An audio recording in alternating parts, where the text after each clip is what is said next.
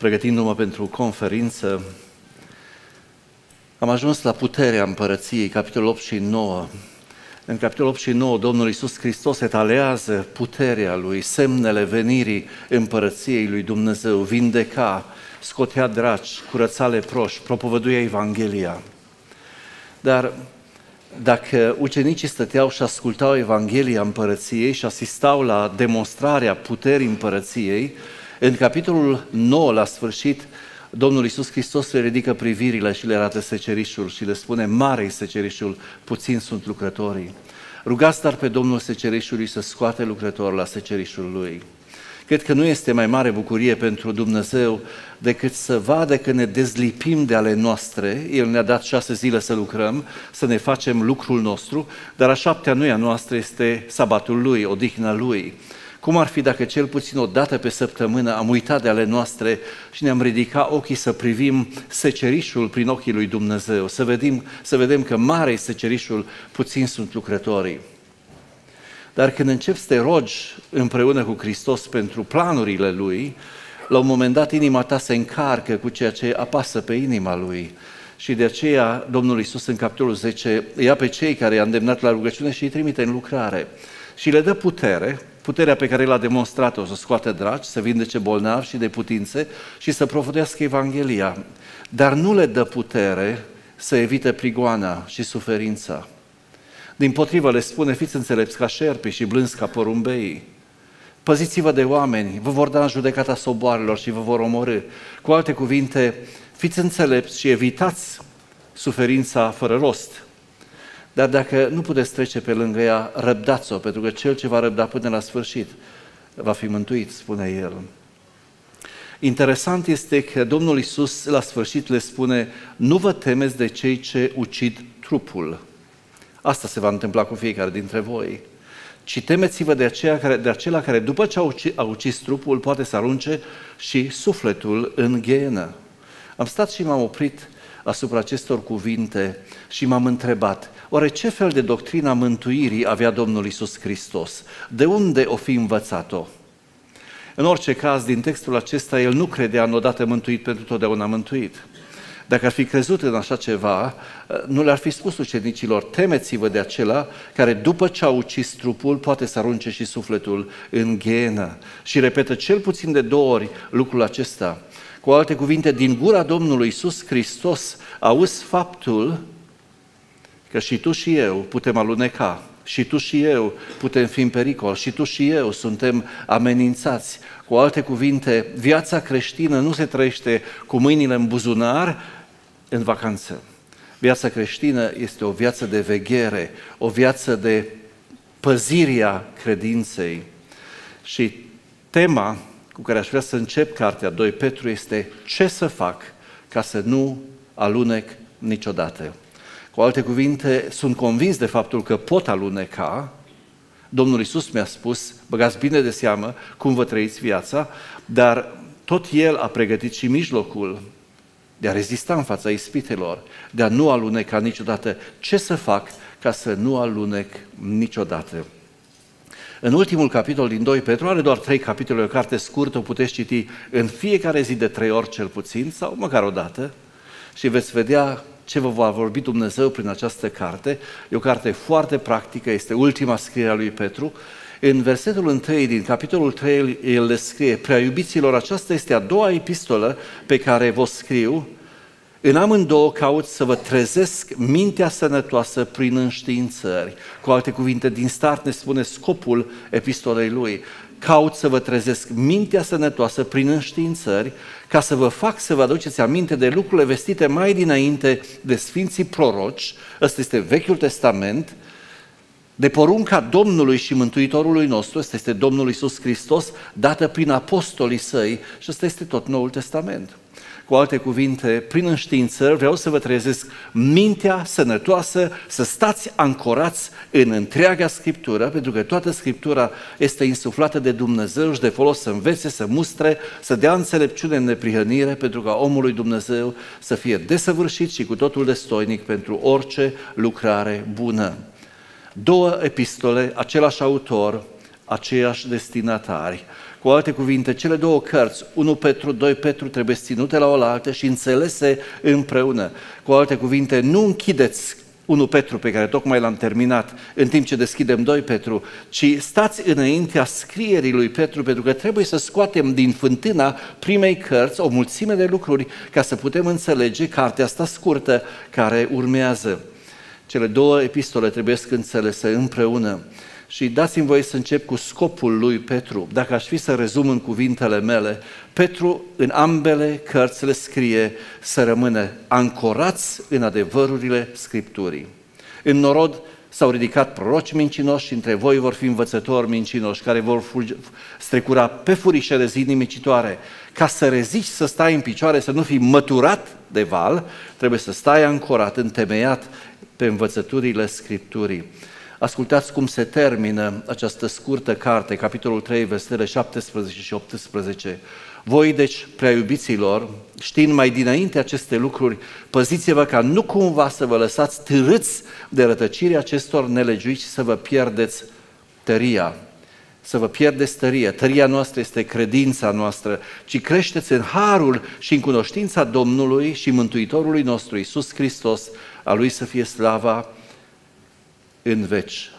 Amin. Aș vrea să încep printr-o panoramă asupra întregii cărți. Nu e foarte lungă, nu-mi va lua prea mult timp, sunt patru adevăruri mari pe care le vom avea în mijlocul nostru în săptămânile care urmează. În primele 11 versete, Petru ne spune, întăriți-vă chemarea și alegerea și nu veți aluneca niciodată. Alunecarea este posibilă pentru oricare dintre noi, pericolul este real, Cine crede că stă în picioare se ia seama să nu cadă. Dacă vrei să rămâi în picioare, trebuie să-ți întărești chemarea și alegerea și atunci nu vei aluneca niciodată. Dacă știi că există o soluție, apuco cât de repede și trebuie să-ți întărești chemarea și alegerea. Acum să o fac, Doamne? Punându-ți credința în negoț, ne va spune în a doua parte a capitolului 1. Întemeiați-vă credința pe Scriptură căci pericolul necredincioșiei ne paște pe fiecare. Și, din păcate, dragii mei, pericolul necredincioșiei intră cum nici nu te gândești, pe furiș. După roade îi veți cunoaște, ne spune Domnul Isus despre prorocii mincinoși. Știți care e problema? Trăim într-o lume globalizată, într-o lume internetului, cu un singur click poți asculta ce predicator vrei de oriunde din lume. Te duci, se deschide videoclipul respectiv, asculți predica, nu știi cine este, nu știi care relația cu soția lui, care relația copilului, care relația cu păcatul, nu știi nimica despre el. I auzi cuvintele, sună miros și încep să mergi după el. Mulți îi vor urma în destrăbălările lor și calea adevărului va fi vorbită de rău. De ce? Pentru că trăim într-o lume în care diavolul a deghizat în cuvinte foarte frumoase erezii strecurate pe furiș, pe care nici măcar nu le poți verifica dacă nu cunosc Scriptura. Viața nu le vezi, deci n-ai de unde să știi că e proroc mincinos sau învățător mincinos. Și asta este tragedia lumii în care trăim. Majoritatea dintre noi stăm picior peste picior cu ceașca de cafea pe internet. Mai, mai nou am mutat biserica pe internet și noi ajutăm prin transmisiile live, dar noi transmitem pentru cei din toată lumea, nu pentru cei din Cluj care ar putea fi prezenți cu noi aici, dacă nu-s bolnavi sau în pat. Observați, dacă nu trăiești în prezența celui ce te învață și nu-i vezi viața, n-ai de unde să știi cine este El. După roade îi veți cunoaște. Ei vor veni luprăpitori îmbrăcați în haine de oi, până și satana și mesagerii lui se îmbracă în îngeri de lumină, ne spune Pavel. Deci, întemeiați-vă credința pe Scripturi, pentru că pericolul necredincioșiei ne paște sau ne amenință pe fiecare dintre noi. Întoarceți capitolul 2 și vă întâlniți față în față cu acești luprăpitori. Acești învățători ai neprihănirii, deghizați în învățători ai neprihănirii, care se bălăcesc în plăceri la mesele voastre de dragoste, spune Petru. Păziți-vă de cei ce strecoare pe furișele zi nimicitoare ca să nu pieriți împreună cu ei. Dragii mei, nu-ți poți vinde sufletul, nu-l poți da pe mâna nimănui, nici pe mâna mea. V-am spus de zeci de ori, nu credeți o boabă din ce vă spun. Duceți-vă acasă, deschideți Biblia, înainte să luați prânzul și vedeți dacă ce vi s-a spus este sau nu așa. Păziți-vă de cei ce strecoară pe furișe rezii nimicitoare ca să nu pieriți împreună cu el. Și capitolul 3 se încheie pe o notă pozitivă adresată celor care cred în venirea Domnului Isus Hristos, cred în judecată. Așteptați și grăbiți venirea zilei Domnului printr-o purtare sfântă și evlavioasă. Ca să poți trăi în păcat în liniște, trebuie să negi venirea Domnului și judecata. Cu alte cuvinte, aici e totul. Mănâncă suflete și bea, mâine vei muri oricum, deci bucură-te de viață, nu trebuie să mm, te gândești la judecată pentru că oricum nu va fi. V-am spus data trecută, am dat și eu click pe um, o pre, un predicator și mi-a plăcut cum era îmbrăcat și biserica era o biserică de negri foarte vie și după ce s-a fâstăcit nu știu câtă vreme um, și-a anunțat în sfârșit um, tema predicii. Și el a început cu Isus nu va reveni. Biserica a zis, Haleluia! Iisus nu va reveni. După care, în timp ce vorbea, a strecurat și cauza, pentru că El nici n-a existat. Și era nu știu câta predică și o biserică plină care l asculta. Eu nu știu cine, a fost un rocker la viața lui, s-a fi întors la Domnul, i-a, fost, i-a părut rău că a cântat cântări de evangelizare prin care a chemat pe alții la predică, la, la Hristos, dar pentru că nu cunoști viața unui om, nu poți alege, dacă nu cunosc Scripturile, dacă e unul fals sau unul adevărat. Întăriți-vă chemarea și alegerea. Nu neglijați Scripturile. Păziți-vă de erezii și așteptați și grăbiți venirea zilei Domnului. Cartea 2 Petru. Și acum haideți să o deschidem și să citim primele două versete, introducerea cărții. Simon Petru, rob și apostol al lui Iisus Hristos, către cei ce au căpătat o credință de același preț cu a noastră. Notați, vă rog, cuvintele lui Petru, către cei ce au căpătat, au primit o credință de același preț cu a noastră, cum? Prin dreptatea Domnului și Mântuitorului nostru, Iisus Hristos, harul și pacea să vă fie mulțite, nu în mod gratuit, nu stând cu mâinile în sân, ci prin cunoașterea lui Dumnezeu și a Domnului nostru Isus Hristos. Observați, avem două prin, două instrumentale în primele două versete. În primul rând, credința se capătă prin dreptatea Domnului și Mântuitorului nostru și harul și pacea ne sunt înmulțite prin cunoașterea lui Dumnezeu și a Domnului nostru Isus Hristos. Credința este sau constituie o condiție a existenței. Nu există om pe fața acestei planete care să nu creadă. Când ai pornit de acasă, ai crezut că vei ajunge la Iris. Când se termină serviciu și crezi că se va termina, dacă eu nu țin prea mult să adormiți, să cădeți de la catul al treilea, crezi că vei ajunge acasă, că vei lua prânzul și că viața va continua înainte și noi credem că mâine la ora 5 vom începe conferința la Varea Drăganului și vineri, dacă Dumnezeu ne ține și nu se surpă tavanul pe noi, ne vom întoarce acasă. Toate astea le credem. Nu poți exista fără să crezi. Cu toate acestea, largă e calea care duce la pierzare și mulți sunt cei ce merg pe ea și îngustă calea care duce la mântuire. Oare de ce? Dragii mei, nu credința te mântuie, ci obiectul credinței ne mântuie. Noi credem în tot felul de prostii, dragii mei. Deschidem internetul și oamenii spun tot felul de lucruri și o încercăm și pe aia și pe cealaltă. Ne ancurăm credința cu atâta ușurință în tot felul de lucruri. Nu credința ne mântuie, ci obiectul ei, Domnul Isus Hristos. De aceea trebuie să ai o credință care se capătă prin dreptatea Domnului și Mântuitorului nostru, Isus Hristos. Simon Petru, rob și apostol al lui Isus Hristos, către cei ce au căpătat o credință de același preț cu a noastră, prin dreptatea Domnului și Mântuitorului nostru, Isus Hristos. Da, credința se primește. În Efeseni, capitolul 2, versetul 8, Pavel le scrie fesenilor căci prin har ați fost mântuiți, prin credință și aceasta nu, nu vine de la voi, ci este darul lui Dumnezeu. A, deci Dumnezeu este de vină că largă calea care duce la pierzare și mulți sunt cei ce merg pe ea. De ce nu le dă și lor darul acesta? Dragii mei, trebuie să pun o întrebare. Cum se capătă această credință mântuitoare? Sau cum dă Dumnezeu această credință mântuitoare? Credința se capătă prin dreptatea sau neprienirea, dicaiosune, a Dumnezeului și Mântuitorului nostru Isus Hristos.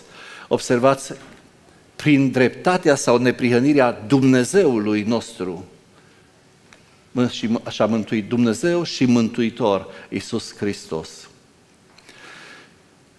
După cei trei ani și jumătate, este prins într-o noapte în Ghețiman, târât în fața marilor preoți, apoi târât în fața lui Pilat și incitând poporul marii preoți, îl cer să fie răstignit. N-am găsit nicio vină în el, spune Pilat, un străin de evrei. L-am cercetat pe toate fețele. Nu e nevinovat. La moarte cu el, sângele lui să cadă asupra noastră. Cu alte cuvinte, poporul întreg, după ce l-au auzit și l-au văzut trei ani și jumătate, spun, e vinovat să moară. L-au răstinit pe o cruce și l-au aruncat într-un mormânt. Și în mintea tuturor l-au găsit cu prihană, fără dreptate. E un mincinos sau, în cel mai bun caz, un lunatic n-are rost să trăiască, duce în rătăcire poporul, calcă sabatul, ne calcă tradițiile, n-are ce căuta între noi. Dumnezeu n-a zis nimica. A întors fața în timp ce fiul său murea pe cruce și cerul s-a liniștit. Trei zile mai târziu a vorbit Dumnezeu prin învierea lui Hristos din morți. Iar 50 de zile mai târziu, după ce a făcut minunea cu vântul și limbile de foc, era ziua de Rusalii, ziua cinzecimii, poporul s-a adunat în piață, ucenicii au coborât din camera de sus, Petru iese în față și începe să vorbească. Versetul 22. Bărbați israeliți, fapte capitolul 2, ascultați cuvintele acestea. Pe Iisus din Nazaret, om adeverit de Dumnezeu înaintea voastră prin minunile, semnele și lucrările pline de putere pe care le-a făcut Dumnezeu prin El în mijlocul vostru, după cum bine știți. Pe omul acesta dat în mâinile voastre după sfatul hotărât și după știința mai dinaintea lui Dumnezeu, după planul alcătuit în sine însuși înainte de întemeierea lumii, voi l-ați răstignit și l-ați omorât prin mâna celor fără de lege, dar Dumnezeu l-a înviat dezlegându-i legăturile morții pentru că nu era cu putință să fie ținut de ea. De ce? Dragii mei, plata păcatului este moartea. Dacă n-ar fi intrat păcatul în lume, n-ar exista moartea. Și când Dumnezeu va eradica păcatul, dușmanul cel din urmă, moartea, va fi aruncat în iazul de foc. Moartea nu va mai exista. Pentru că Domnul Isus Hristos, deși a fost ispitit în toate lucrurile, ca și noi, ca tine, ca mine, n-a avut păcat. Neprihănirea Lui a dezlegat legăturile morții. Moartea nu l-a putut ține. Dreptatea sau neprihănirea Domnului Isus Hristos devin obiectul credinței noastre. Dar pentru asta trebuie să ajungi să fii convins de faptul că tot ce a zis și tot ce a făcut este adevărat, este drept. În Evrei, capitolul 5, versetul 10, când autorul începe să-L prezinte pe Domnul Isus, în versetul 7, el spune, El este acela care în zilele vieții sale pământești, aducând rugăciuni și cereri cu strigăte mari și cu lacrimi către Cel ce putea să-L izbăvească de la moarte și fiind ascultat din pricina evlaviei Lui, măcar că era fiu, a învățat să asculte prin lucrurile pe care le-a suferit și după ce a fost făcut sau dovedit de săvârșit, drept, neprihănit, s-a făcut pentru toți cei ce-l ascultă, asta înseamnă a crede. Urzitorul unei mântuiri veșnice, căci a fost numit de Dumnezeu mare preot în viac, după rânduiala lui Melchisedec. Cum se capătă credința mântuitoare? Doar în urma convingerii că Isus este drept, neprihănit în tot ce a zis și în tot ce a făcut. A, dar pentru asta nu poți sta cu mâinile încrucișate ca joi dimineața la ora șase Dumnezeu să toarne credința în inima ta. Nu, nu, nu, așa se capătă credința, ci trebuie să-ți iei oboseala să pornești pe urmele Lui. Tu nu trăiești în vremea Lui ca să-L poți atinge, dar toate aceste lucruri au fost scrise pentru ca voi să credeți că Isus este Hristosul Fiul lui Dumnezeu. 21 de capitole, nu-i foarte mult de citit, ia-le și răsfoiește-le. Cu alte cuvinte, fii ca un judecător, ca un avocat care deschide dosarul, Iisus Hristos, și nu te lăsa până când nu dai un verdict drept. Dumnezeu a zis că e drept și neprihănit. Cei din vremea lui au spus că este vinovat și păcătos și l-au pus pe o cruce. El i-a infirmat judecata și în ziua aceea de Rusalii, 3000 de oameni au strigat, fraților, ce să facem? Pocăiți-vă, le-a zis Petru. Ce înseamnă să te pocăiești? Păi să faci o stânga împrejur. Încotro mergeai? Mergeai pe drumul, e vinovat, la moarte, răstignește-i, sângele lui să cadă asupra noastră. Dar acum a vorbit Dumnezeu, fă stânga împrejur. Dumnezeu nu-ți cere să accepti pur și simplu lucrurile, ci îți cere să cercetezi lucrurile. Să răsfoiești Scriptura, să umbli pe urmele Domnului Isus Hristos și la urmă să dai un verdict. Dacă verdictul tău va fi la moarte cu El, poți nega judecata și venirea Lui, dar te vei întâlni cu El. Dacă verdictul tău va fi Dumnezeu are dreptate, prin credința în dreptatea lui Hristos, ești mântuit. Pocăința și credința reclamă redeschiderea cazului Isus Hristos. Dragii mei, chiar dacă în mintea ta l-ai clasat 20 de ani, 30 de ani, nu te-ai interesat, ai trăit fără el, trebuie să vină un moment în viața ta în care stai serios în fața acestui dosar și să zici ori, ori. Și dacă ai o inimă sinceră, Duhul lui Dumnezeu te va ajuta să vezi dreptatea lui Hristos și fiind convins de ea, vei simți cum credința umple inima ta spre mântuire. Petru și Pavel vorbesc aceeași limbă pentru că autorii Noului Testament sunt insuflați de același Duh Sfânt. Și Pavel în capitolul 10 din Romani, versetele 9 la 17, vorbește despre căpătarea credinței. Dacă mărturisești deci cu gura ta pe Hristos ca Domn și dacă crezi în inima ta că Dumnezeu l-a înviat din morți, vei fi mântuit. Dacă crezi în inima ta că Dumnezeu l-a înviat din morți, vei fi mântuit. Căci prin credința din inimă se capătă neprihănirea, prin credința din inimă se capătă neprihănirea și prin mărturisirea cu gura se ajunge la mântuire. După cum zice Scriptura, oricine crede în El, în El, nu oricine crede, toți credem ceva, dar oricine crede în El, în dreptatea, neprihănirea Lui, nu va fi dat de rușine. În adevăr, nu este nicio deosebire între iudeu și grec. Nu contează cine ești, bogat, sărac, bărbat, femeie, bătrân, copil, alb, negru la piele, nu contează cine ești. Oricine crede în El va fi mântuit.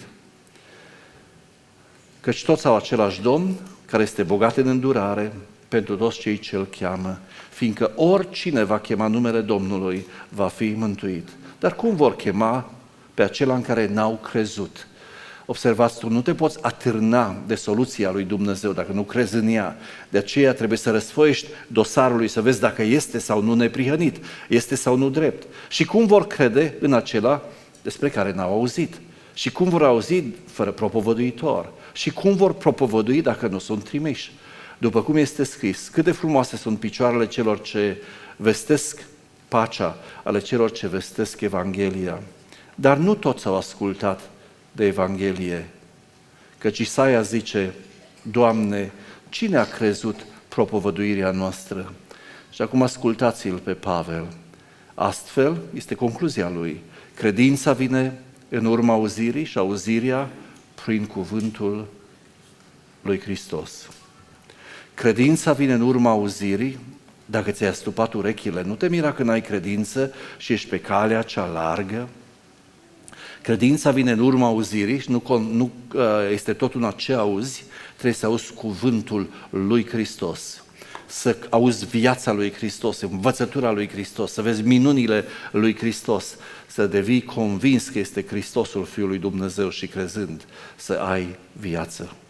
Dragii mei, nici Petru nu vorbește altfel. Când zice către cei ce au căpătat o credință de aceeași preț cu a noastră, el nu se gândește la faptul că uh, de undeva din cer primești credința mântuitoare, dați-mi voie să scot din fântâna primei lui epistole, versetul 10 la 12 din capitolul 1. Prorocii care au prorocit despre harul care vă era păstrat vouă, au făcut din mântuirea aceasta ținta cercetărilor și căutărilor lor stăruitoare. Ei cercetau să vadă ce vrem și ce împrejurări avea în vedere Domnul Duhul lui Hristos care era în ei, când vestea mai dinainte patimile lui Hristos și slava de care avea să fie urmată. Patimile lui Hristos, răstignește-l, e vinovat. Slava de care avea să fie urmată, a treia zi, a înviat din morți și s-a înălțat la Tatăl. Versetul 12.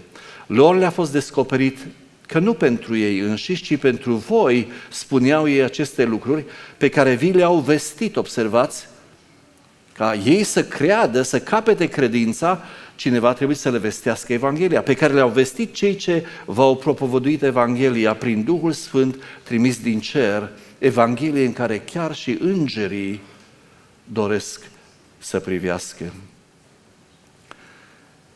Ascultați cum termină Petru prima lui epistolă. V-am scris aceste puține rânduri ca să vă sfătuiesc și să vă adeveresc că adevăratul har al lui Dumnezeu este harul acesta de care v-ați alipit. Acum înțelegem cum se capătă credința. Mai întâi trebuie să auzi Evanghelia și pe urmă trebuie să iei o decizie. Da sau ba? Și Duhul Sfânt te asistă, dar nu te obligă. Nu te obligă. Dacă te alipești de harul acesta, vor veni alții să te dezlipească de el. Poate prigoana și suferința, ca și în cazul din 1 um, Petru. O încercare de foc. Dar dacă ești convins de dreptatea, de neprihănirea lui Isus Hristos, de faptul că n-a fost un lunatic, nici un mincinos și un șarlatan, ci a fost Fiul lui Dumnezeu, cum a zis, nu te vei dezlipi de harul acesta, indiferent ce ar veni peste tine. Uitați-vă cum își încheie el epistola în 2 Petru, capitolul 3, versetele 17 și 18. Voi deci, prea iubiților, știind mai dinainte aceste lucruri, adică faptul că vor veni erezii nimicitoare stecurate pe furiș, păziți-vă ca nu cumva să vă lăsați târâți de rătăcire acestor nelegiuiți și să vă pierdeți tăria sau credința, ci creșteți în harul și în cunoștința Domnului și Mântuitorului nostru, Isus Hristos, a Lui să fie slava acum și în ziua veșniciei. Amin. Cum se primește credința mântuitoare? Credința vine în urma auzirii și auzirea vine prin cuvântul lui Hristos. N-ai timp de Scriptură, n-ai timp de Evanghelii, nu te mira de îndoielile și de necredința ta. Dragii mei, așa cum credința se primește auzind cuvântul, credința se păstrează cunoscând cuvântul, crescând în cunoașterea Domnului și Mântuitorului nostru Isus Hristos. Pavel vine și pune înaintea noastră o scară pe care oricine trebuie să urce să ajungă la credința, să capete credința mântuitoare. În primul rând, Dumnezeu a alcătuit în sine însuși un plan, este hotărârea mai dinaintea lui Dumnezeu. Apoi El a anunțat acest plan prin proroci, prin prorocii care cercetau să vadă ce vrem și ce împrejurări avea în vedere Duhul lui Hristos care era în ei când vorbea despre crucea lui Hristos, patimile lui, dar și despre slava care aveau să fie urmate. Și au pus în scris aceste cercetări și căutări. La vremea potrivită, Dumnezeu și-a trimis mesagerii, în cazul nostru apostolii. Ei au început să propovăduiască peste tot. Veți primi o putere și veți fi martori din Ierusalim până la marginile pământului, le-a spus Domnul Isus și a turnat peste ei Duhul Sfânt. Ei au început să propovăduiască și au început să audă cuvântul. De aici încolo Dumnezeu a făcut un pas înapoi și ți-a dat libertatea să zici da sau nu ți-a dat libertatea să crezi sau să respingi.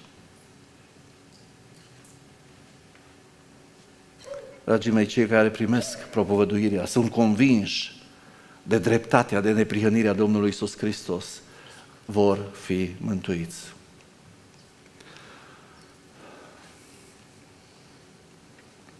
Fără credință, este cu neputință să fim plăcuți Lui. Primele două versete Cred că tema centrală este cum se capătă credința. Dar următoarele versete vin și îți spun ce să faci cu ea.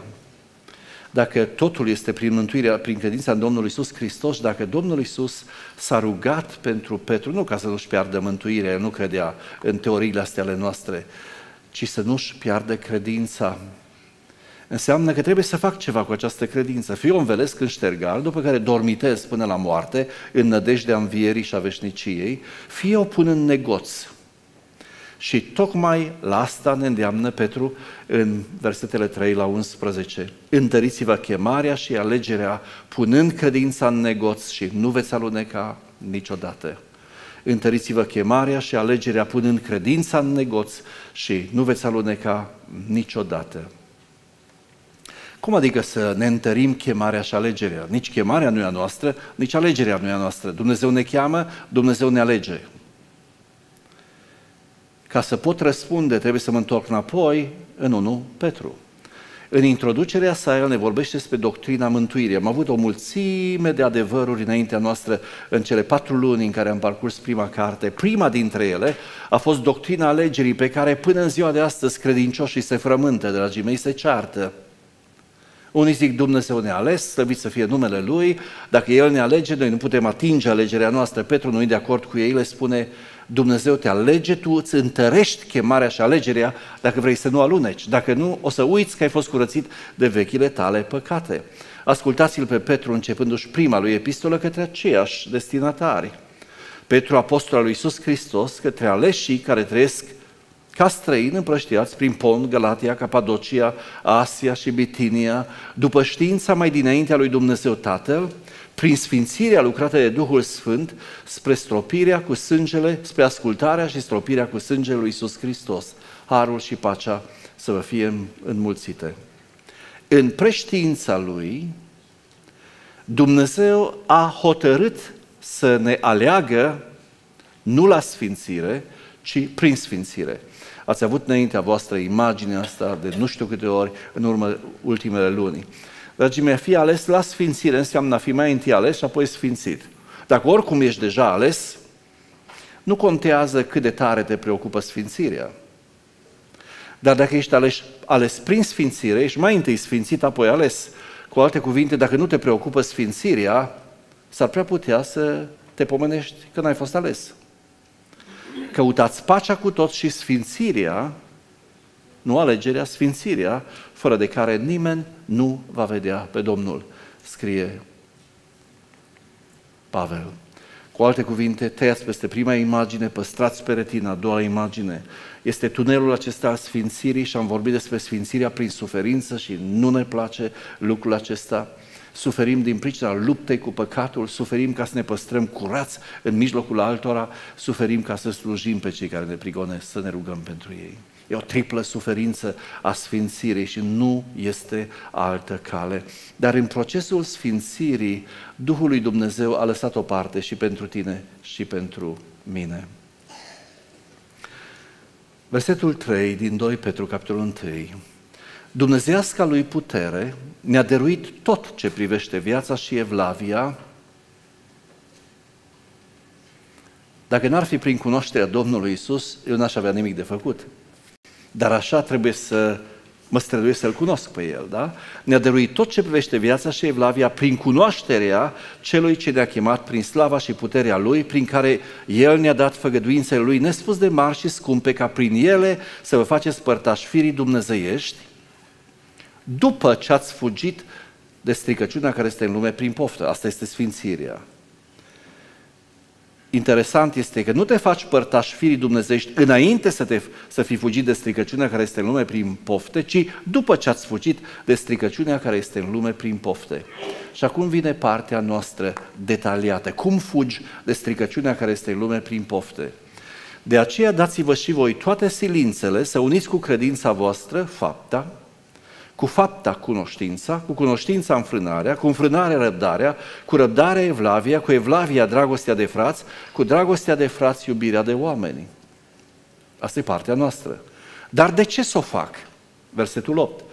Căci dacă aveți din belșug aceste lucruri în voi, acestea care le-a înșirat El, ele nu vă vor lăsa să fiți nici leneși, nici neroditori în ce privește de plina cunoștința Domnului nostru Isus Hristos. Observați, cunoașterea Domnului Isus Hristos nu este o teorie pe care o adun în capul meu, o informație, cu ea încep, ci este o cunoaștere în experiență. Unind cu credința fapta, aveți lista înaintea dumneavoastră. Dar dacă l-ai cunoscut pe Domnul Isus Hristos, da, iubirea de oameni, dacă aveți din belșug aceste lucruri în voi, ele nu vă vor lăsa să fiți nici leneși, nici neroditori în ce privește de plina cunoștința Domnului nostru Isus Hristos. Dar cine nu are aceste lucruri, este orb, umblă cu ochii închiși și a uitat că a fost curățit de vechile lui păcate. Nu se poate. Am fost curățit de vechile mele păcate și la un moment dat ajung să fi uitat că am fost curățit de vechile lui păcate. De aceea, continuă versetul 10, fraților, căutați cu atât mai mult să vă întăriți chemarea și alegerea voastră, căci dacă faceți lucrul acesta, nu veți aluneca niciodată.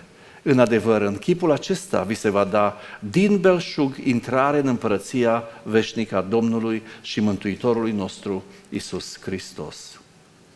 Pe scurt, El ne-a dat tot ce privește viața și evlavia. Și sunt unii dintre noi care îmbrățișează cu amândouă mâinile această afirmație. Amin, amin. Dragii mei, nici eu nu pot schimba, scrie în Scriptură. Dar El ne-a dat tot ce privește viața și evlavia prin cunoașterea. N-ai cardul, nu scoți banii. Simplu ca bună ziua. Da? Prin cunoașterea Domnului nostru Isus Hristos. Dar ce ne-a dat El? Promisiunile Lui nespus de mari și scumpe, ca prin ele să ne facem părtași caracterului cristic, firii dumnezeiești. Îmi pare rău că mai scrie după ce ați fugit voi, nu El, voi, de stricăciunea care este în lume prin pofte. Cu alte cuvinte, El ne-a dat tot, noi suntem chemați să ne dăm toate silințele. Partea Lui partea Lui, partea noastră e partea noastră. Slăvit să fie numele Lui, că tot prin El facem și partea noastră. Și ăsta este harul extraordinar pe care Dumnezeu ne-l dă. Aveți lista înaintea voastră și aș vrea să te întorci la ea și semnul acela mare de întrebare și stați cu imaginea, cu mintea focalizată pe pașii respectiv. Credință, fapte, cunoștință, înfrânare, răbdare, evlavie, dragostea de frați, dragoste de oameni. Nu știu cum să le iau. Nu cred că sunt opt lucruri împrăștiate pe masa sufletului meu sau înaintea mea ca să iau ce îmi place și în ce ordine îmi place. Ele se înlănțuie una cu alta, creează un întreg, ori le ai pe toate, ori n-ai nimica. Și observați de ce trebuie să legate împreună. Credința trebuie să o unești cu fapta. De ce? Fără faptă, credința este moartă. Și dracii crești se înfioară, de asta nu înseamnă că sunt mântuiți. Credința fără fapte este moartă. Dar de ce să unesc cu fapta cunoștința? Foarte interesant a gândit Dumnezeu universul lui. Dacă nu aplici ceea ce cunoști, n-ai acces la următorul stadiu, la următorul etaj. Cu alte cuvinte, automat se blochează cunoașterea. Cine va vrea să facă, va ajunge să cunoască dacă învățătura este de la Dumnezeu sau dacă eu vorbesc de la mine. Domnul Iisus spunea multe lucruri, oamenii nu pricepeau. De ce nu pricepeau? Pentru că nu erau dispuși să facă pasul pe care l-au înțeles. Foarte interesant, Dumnezeu nu risipește orzul pe gâște. Dacă tu nu vrei să faci ceea ce știi, uh, nu vei ști ceea ce Dumnezeu ar fi vrut să știi în faza următoare. Cine va vrea să facă sau dacă va vrea cineva să facă, voia lui va ajunge să cunoască dacă învățătura este de la Dumnezeu sau dacă eu vorbesc de la mine. Dar ce e foarte interesant este că cunoștința, fapta cunoștința, cunoștința îngânfă, spune Pavel, dragostea de viață. Sau slova ucide, slova goală ucide doar Duhul de viață. Ori dacă Dumnezeu din start nu-ți oferă mai multă cunoștință decât ai trăit-o, ca să nu te omoare și pe tine și pe alții, atunci cunoștința se acumulează foarte repede. Asta o știu studenții mai ales, care muncesc din greu două săptămâni până la examen. După care, dacă îi întreb trei zile mai târziu, după examen, ce au învățat, habar n-au. Am văzut o caricatură foarte interesantă pe vremea studenției mele, um, studentul este de la, din examen, îți deșurubează capul și era un coș și toată informația o golește și pune capul la loc și pleacă să-și vadă de viața lui. Dragii mei, cunoștința sau informația o acumulăm foarte ușor. Orice întrebare ai, intri pe Google, prups, și știi de toate. Și de aia nu știm nimica pentru că avem impresia că știm de toate. Dar Dacă adaugi înfrânarea la cunoștință, cu alte cuvinte, nu te grăbești să verși totul informația pe care, ci lași informația aceea să lucreze mai întâi în tine. Practic, aștepți ca trupul să vină după minte, cu alte cuvinte, viața să urmeze cunoștința, caracterul să se poată forma. O, dar pentru ca înfrânarea să fie posibilă, ai nevoie de răbdare. De răbdare. Nu știu de ce Dumnezeu l-a ținut pe Moise 40 de ani la oi. De ce a făcut același lucru cu David 40 de ani? Imaginați-vă răbdarea pe care a trebuit să o exerseze. Ascultați ce spune Iacov în capitolul 1, versetul 4. Dar răbdarea trebuie să-și facă desăvârșit lucrarea, pentru ca să fiți desăvârșiți în trei, să nu duceți lipsă de nimic. Și abia când la cunoștință ai adăugat înfrânarea și răbdarea, începe să prindă contur Evlavia. Ce-o fie Evlavia?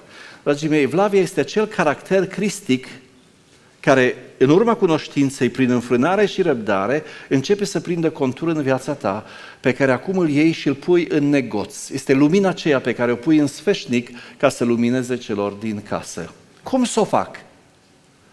Prin dragostea de frați și iubirea de oameni. Când începi să iubești pe frații tăi, începi să-i slujești. Nu iubiți cu vorba, nici cu limba, ci cu fapta și cu adevărul. Și când începi să slujești pe frații tăi, dintr-o dată vezi că mare este cerișul, puțin sunt lucrătorii și începi să te rogi pentru nevoile care sunt dincolo de puterile tale și Dumnezeu te cheamă cu blândețe în secerișul Lui. Caracterul cristic este pus în negoț prin dragostea de frați și iubirea de oameni.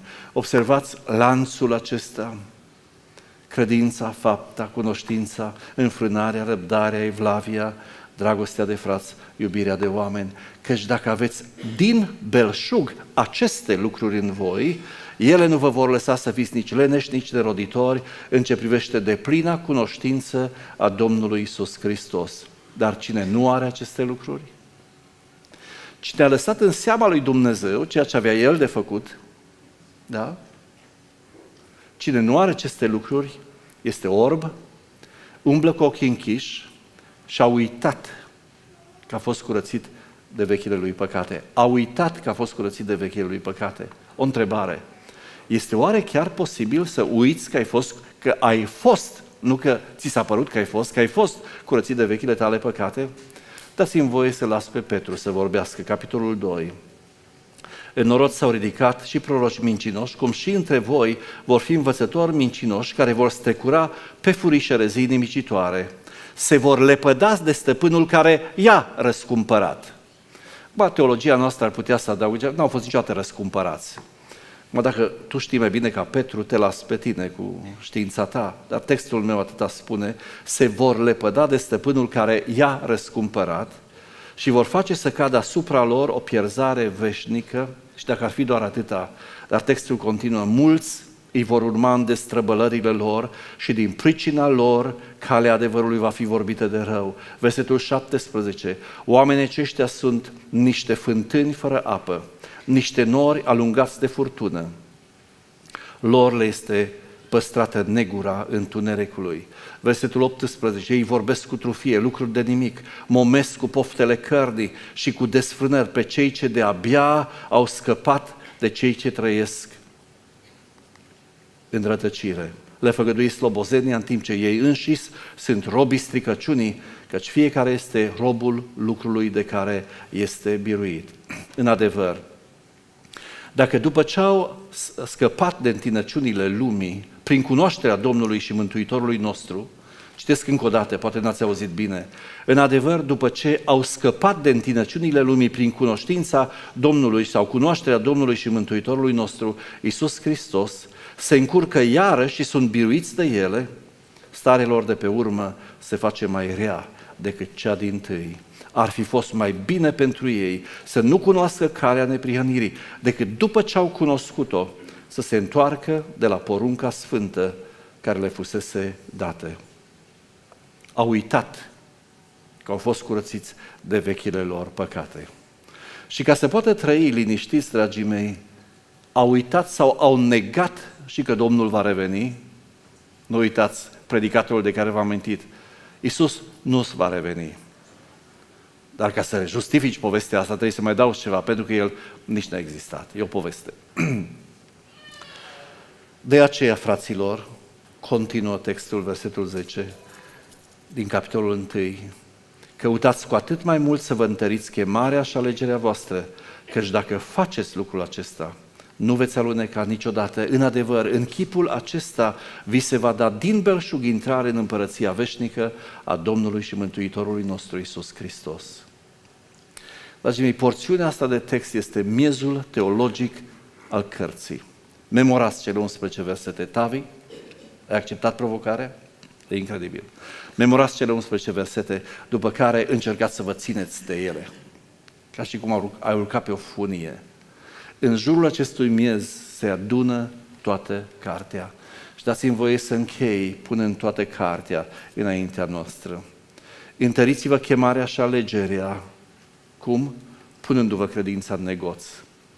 Și nu veți aluneca niciodată. Al doilea mare adevăr, înrădăcinați-vă credința în Scripturi. Nu în povești, nu în cărți, nu în predici. Nu uitați, trăim într-o lume în care ereziile se strecoare pe furiș în viața noastră pentru că auzim tot felul de voci, nu vedem viețile. Trăim într-o lume virtuală în care poți fi curvar și afemeiat și să ții predici incredibile la televizor. Cei care te ascultă nu știu nimica. Dar pentru că le dai 90% adevăr și 10% o travă, o travă aceea e suficientă să-ți mănânce sufletul și încetișor deviezi de la adevăr. Sunt foarte multe lucruri care ne atrag privirile, care am fugi să le vedem, să fim părtași la ele. Verificați-le mai întâi. Și verificați-le în lumina Scripturii. Și voi aveți aceeași Scriptură ca și mine, în lumina Scripturii, citită în context, cum ne-a dat-o Dumnezeu. Deci, întăriți-vă credința sau întemeiați-vă credința pe Scripturi, căci pericolul necredincioșiei ne amenință pe fiecare. Capitolul 2. Păziți-vă de cei ce strecoară pe furișe rezii nimicitoare, ca să nu pieriți împreună cu ei. Și ultimul capitol din text, din carte, așteptați și grăbiți venirea zilei Domnului printr-o purtare sfântă și evlavioasă.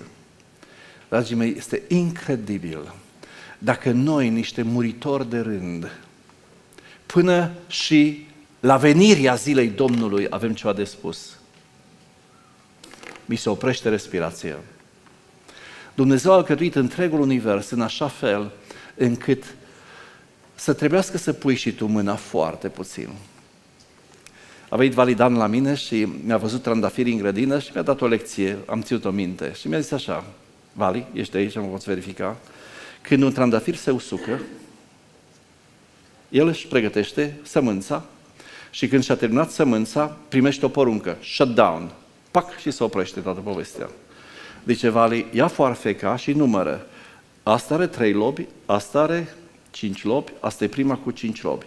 Taie floarea uscată la prima cu cinci robi. Dar de ce să fac treaba asta? Pentru că tu, eliminând sămânța, îi spui trandafirului, încă nu ți-ai terminat treaba. Vino peste o săptămână și vei da de o mugure și am făcut așa. Mi s-a umplut iarăși de trandafir grădina. E adevărat, Vali? E adevărat? E incredibil. Dragii mei, dacă până și aici Dumnezeu m-a lăsat să mă amestec, să-mi fac treaba mea. Dacă nu fac treaba mea, îmi mulțumesc o floare, iau de acolo o sămânță și asta este. Restul s-o scăciun până toamna. Luați un bob de grâu. Luați un prunc pe care Eme și-l ține în brațe. Nimic nu se întâmplă fără participarea noastră. Ce fac eu și ce face el? Și asta mă ține smerit. Cu cât mai bine înțeleg ce face el, cu atât mai bucuros fac ce am eu de făcut, dar rămân smerit pentru că înțeleg cine este El și cine sunt eu. Și crezând în Creatorul meu, printr-o purtare sfântă și evlavioasă, ascultați bine, puteți nu doar aștepta, că așteptarea este o acțiune pasivă, da? O acțiune, este o stare pasivă, da? Dar grăbiți venirea zilei Domnului. Tu vierme, eu vierme, pot grăbi venirea zilei Domnului? Da, așa spune Scriptura. Până și aici Dumnezeu ne-a luat conlucrători cu El. O carte scurtă, incredibilă, incredibilă. O puteți citi în fiecare zi, cel puțin o dată, în următoarele două luni. Și facă bunul Dumnezeu ca Duhul lui Dumnezeu să o tălmăcească pentru fiecare dintre noi. Amin.